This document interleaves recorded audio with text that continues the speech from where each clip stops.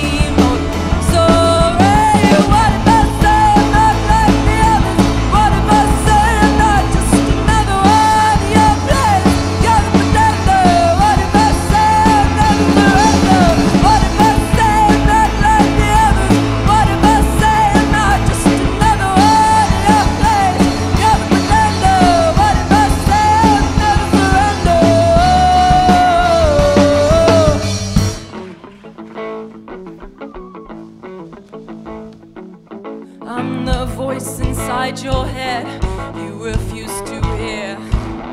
I'm the face that you have to face, mirrored in your stare.